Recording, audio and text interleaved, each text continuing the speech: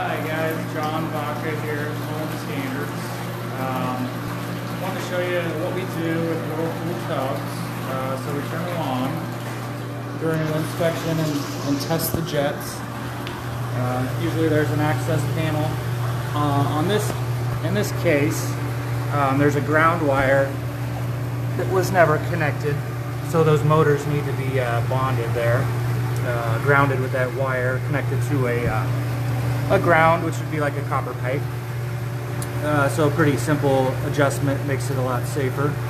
Um, one other thing, I hesitate to show this just because it's one of the grosser things we find. I don't know if you can see the video. This is what happens when the uh, jets are not cleaned.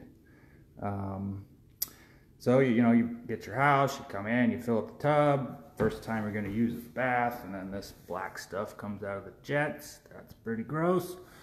So just running some white vinegar through these jets um, will uh, uh, clean that up a little bit. So, all right, sorry to gross anyone out, but uh, I wanted to show that.